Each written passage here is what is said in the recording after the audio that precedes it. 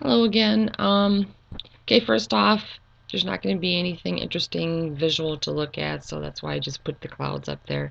I basically just have some things I want to talk about to just sort of get off my chest. Um, what I want to talk about are the stages that one may go through when they're discovering the effect for the first time. Um, these are the stages I personally have gone through, as well as what I've heard others describe in their videos. You know, it's almost like stages of grief when you think about it. I remember years ago when my mom died, and I was given one of those pamphlet on the stages of grief and what to expect. And I thought that was kind of funny in a sad way back then, as if all my problems would be answered in that small pamphlet. Um, but anyways, a lot of the Mandela quantum effect stages seem to be similar to what I remember reading in that pamphlet. I guess I could see how that would be. Um, in essence, when when one day you suddenly realize that so much of what you remember is not true anymore, and you can't find any evidence anywhere of that memory, it is like something has died. It's gone, and as far as you know, it's not coming back. That would be sort of like grief. Anyhow, first thing I felt was total disbelief. I remember thinking to myself, actually saying out loud, What? No, wait, what? What? Just total disbelief. And then there was self doubt. Okay, let me think. I must have remembered this wrong. Nobody is talking about this. Offline, anyhow. I must be losing my mind. Maybe just a little bit. And then you argue with yourself. It's like, no, no, I'm not losing my mind. I do remember this right. And then you realize because of some of the effects are very personal with attachments to your past, it makes it irrefutable. Um, and once you come to the acceptance of this new reality that you live in, you get pissed. I remember I got really, really mad one day. Like, who the fuck thinks it's okay to do this? These are my memories. This is my past. This is my reality. Who or what would do this? They have no right. This is just wrong. And then you feel sadness and confusion. And you feel isolated and alone. And then angry again and then you finally feel a new sort of acceptance. Um, with some of these changes, you feel like laughing because it gets to the point where it's just plain comical. It really is. And every so often, a new effect creeps up that um, hits you personally again, and you almost start the whole process over again. You'll get used to it though. You will.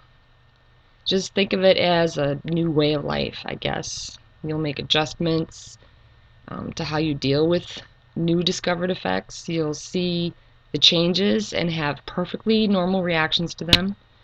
You may at times repeat this grieving process again and again, but it'll be quicker and shorter. The one aspect to all of this that I am having a really hard time with, though, and this is my main reason for creating a YouTube channel, is the isolation. You come across people who don't see it, and that's cool, since, I mean, that's their reality, just like this is mine. I can't be annoyed with them or try to convince them. But then there are the people who do see some of what you're saying, and you can see that they know deep inside what you're talking about. But then they get this glaze in their eyes, and they become adamant and they they just don't want to talk about it. They they become adamant that it's it's not happy, happening. And those are the people that hurt me. I mean, how can you see what I see, know a little bit about what I know, and then make me feel isolated and stupid? Best way I can describe it is the feeling like you're sort of standing outside of a big circle drawn on the ground, let's say, give you a visual and most everyone you know is inside that circle. There are a bunch of other people outside the circle with you, but most are people you don't know and have just met. Which is cool since you're meeting more like minded people. But some of the people you were so very close to and love are inside the circle, no longer at your side where you feel they belong. The hardest one is when they do stay inside the circle by choice, not because they truly don't see what you see, but because they refuse to and want to pretend it away so they can just go on living their blind, regular so called life. They choose to step away from your side, and that that hurts. That really hurts. Um, the one consolation for me is that my kids do see this along with me. In fact, my oldest is the one who brought it to light for me. He is one of the most logical, scientific, and analytical people that I know. I was aware somewhat about the effect before he mentioned it, but thought maybe I was losing my mind, you know, so I didn't say anything to anybody. But once he said something about it, my boy, who is so logical sometimes that our discussions often turn into great debates, where I usually let him win. We'll probably have a debate about that comment once he watches this. Um, once he said something about the Mandela effect, I knew I wasn't losing my mind. Unfortunately, my kids live on the other side of the country, so even though they stand outside the circle with me, they're so, so far away. Um, another thought lately that I feel out of sorts. Like, I don't know, like things just aren't the same anymore. And I don't mean just the changes that we've seen. I mean something else I can't quite put my finger on. I feel like I'm going through the motions every day, but they mean nothing. I feel like I'm waiting for something.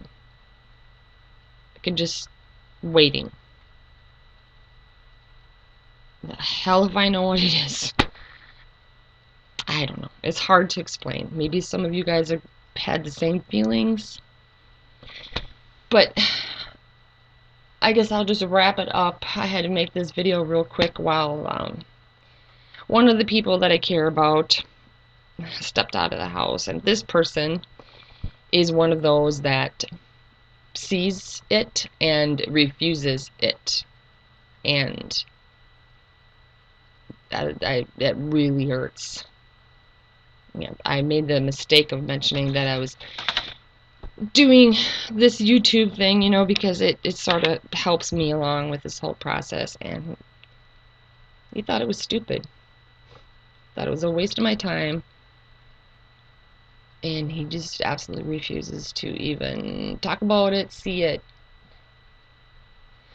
Okay, anyways, I just started wandering off on my own little self-pity thoughts. Sorry.